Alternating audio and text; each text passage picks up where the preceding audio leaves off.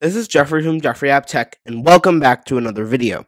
In this video, I will be showing you how to use Python with the Dobot Magician robotic arm. First of all, we want to install Dobot demo by going to dobot.cc.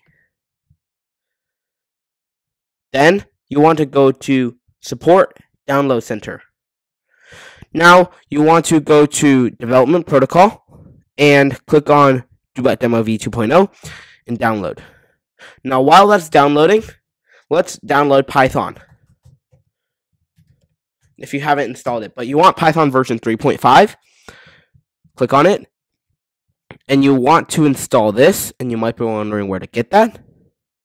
Well, right here. So you click on for your version, and you install. For example, I'm going to get the 32-bit, sorry, 64-bit. You download that as well and we'll wait for those to download. Downloading. And once you want to install those, inside Dobot Demo, you should have a folder called Dobot Demo for Python. In fact, I will close off these windows, close off those, and it should be something like this.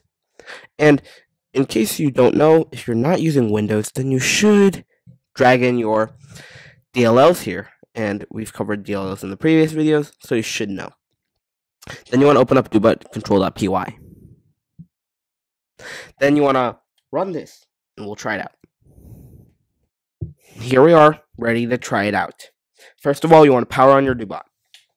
And then move it around a little bit.